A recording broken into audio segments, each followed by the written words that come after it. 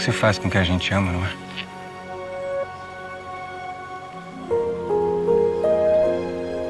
Amo. Eu te amo, Mika. Sempre te amei. Eu sou o homem mais feliz de Israel por estar casado com você. Por mais que ainda você não sinta o mesmo.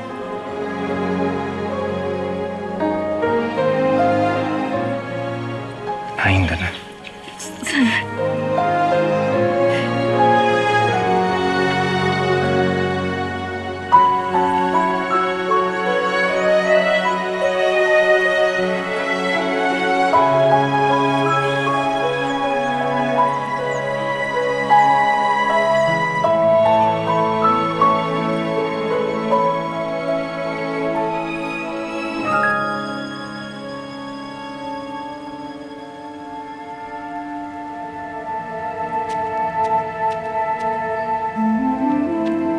Davi! Davi! Você tá vivo! Pelo menos você me aguardou. Bom, vem aqui que eu te explico. Vem. Vem, vem, vamos. Como você permitiu que a Mikal se casasse, Jonatas? Ela é minha esposa! Eu não tive escolha. Na verdade, ninguém teve. Meu pai estava resoluto em a Mikal se casar. E ele disse que você. que você estava morto, Davi. Sim, porque ele mandou me matar de novo. Eu soube.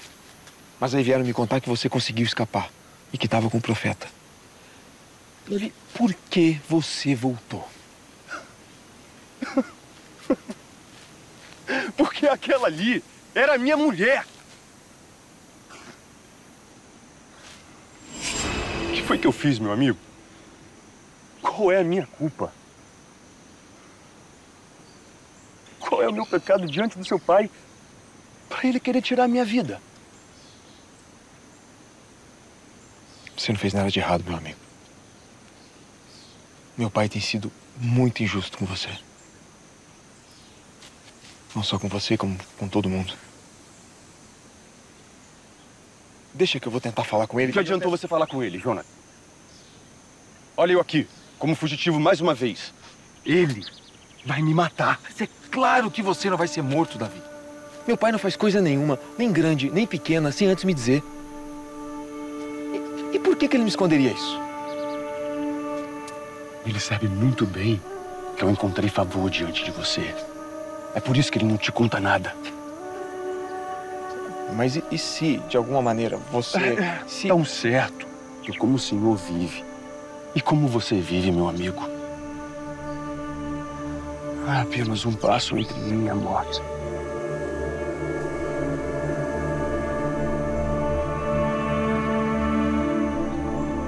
Tudo bem. Tudo bem. O que você precisa que eu faça? Tudo que você quiser, eu vou fazer.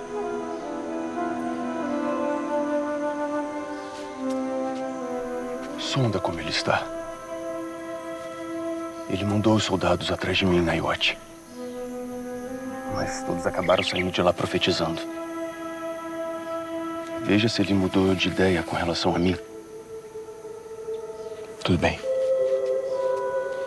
Eu vou também trazer algo para você comer.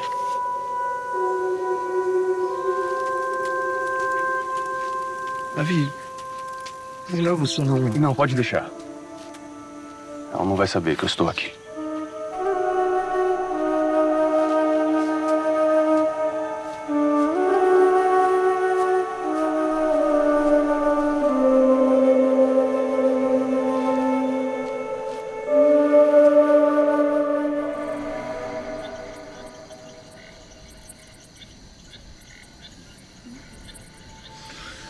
Olha o que você pediu, hein?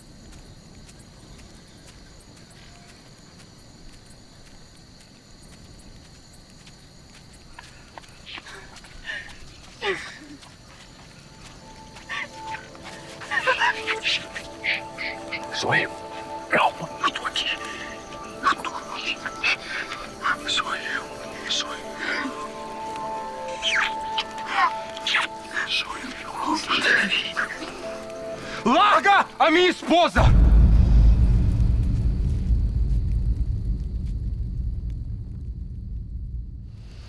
Sua esposa. Sua esposa. Como é que você pode ter se casado com uma mulher já casada? O rei disse que você estava morto, Davi. E agora também já é tarde. Nós nos casamos e a Mikal pertence a mim. Isso que você chama de casamento não passa de uma farsa, Pautiel. Farsa ou não, foi com a ordem e o consentimento do rei. Se você fizer qualquer coisa comigo, você vai ter que se entender com o rei. É. Hum. É isso mesmo. Traidor de Israel. Você vai pagar caro se continuar se intrometendo. Você fica quieto, Pautiel! Você só tá piorando as coisas. Vem cá, vem. Ei! Ei, onde você tá levando? Aí. Não se mete. Eu vou arrebentar tua cara.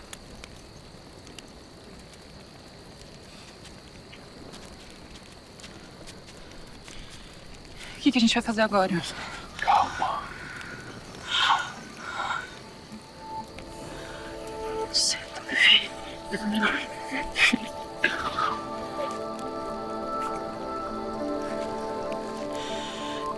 Achei que você tinha morrido. Eu achei que eu tinha te perdido pra sempre. Calma, meu amor. Calma, calma.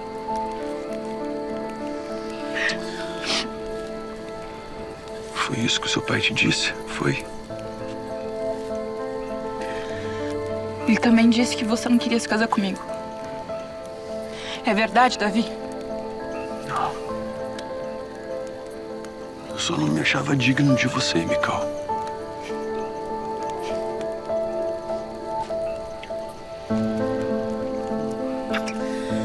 Eu sabia que ele tava mentindo. Por favor, me tira daqui. Me leva com você, Davi, por favor. Não, não, não, não, eu não posso. Assim que eu resolver essa situação com seu pai, eu.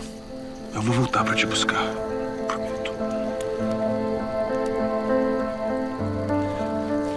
Você e o. E o Pautiel. Não. Não aconteceu nada. E nem vai acontecer. Vi vocês se beijando, Mikal. Eu amo você, Davi. É você que eu amo. Tá, Eu só. vamos esquecer isso. Eu também te amo. Mikal, entra agora!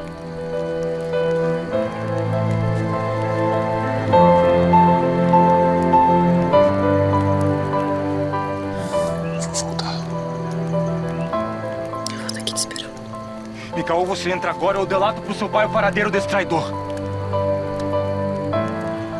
Vai, Davi.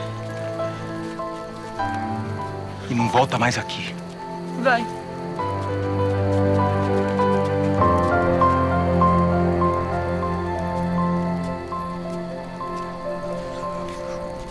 Ei, ei.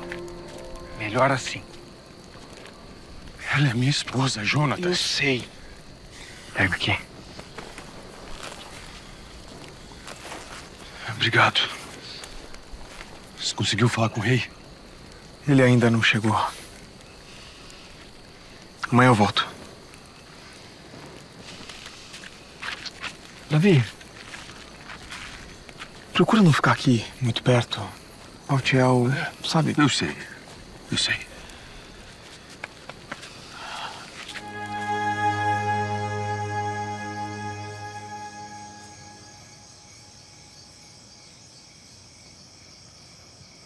Inclina, Senhor,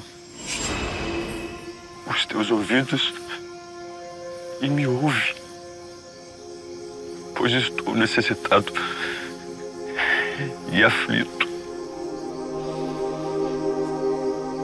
Guarda a minha alma,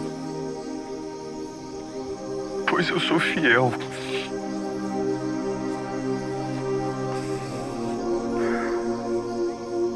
Oh Deus meu,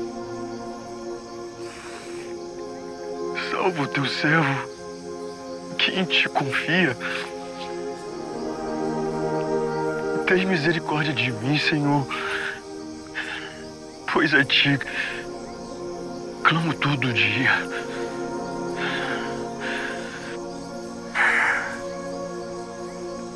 Alegra a alma do teu servo, Senhor, pois a ti eleva minha alma.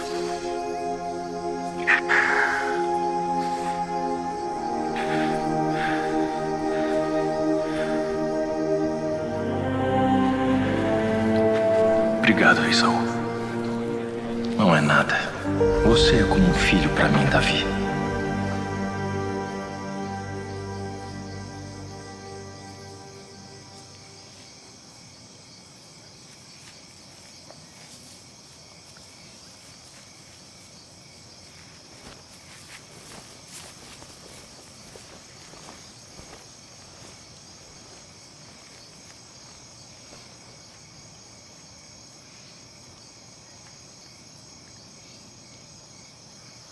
Senhor é Deus compassivo e bondoso,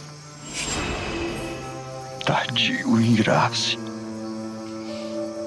e grande em misericórdia e fidelidade. Mostra-me um sinal do teu favor, Senhor, para que o vejam e se envergonhem os que me odeiam. Pois o Senhor me me ajuda e me consola.